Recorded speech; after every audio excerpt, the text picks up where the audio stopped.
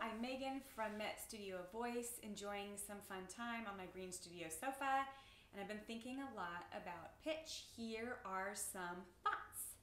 The first is if you are tone deaf and you know that you don't always match pitch so you can hear when you're off and you're missing, that means you're not tone deaf.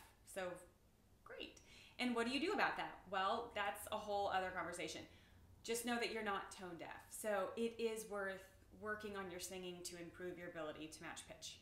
Second thought is if you are in a performance setting or you're in an environment where you're leading others and singing music and you have difficulty controlling your pitch, my question to you is are you singing too loudly? So, in that situation, just sing at 80% volume and see if that helps.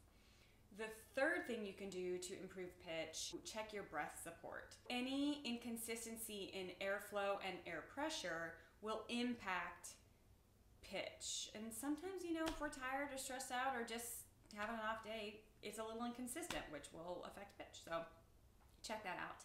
Let me know if this food for thought impacts your singing positively in the comments below. Subscribe to this channel and follow me on Instagram at Met Studio Voice. Have fun singing!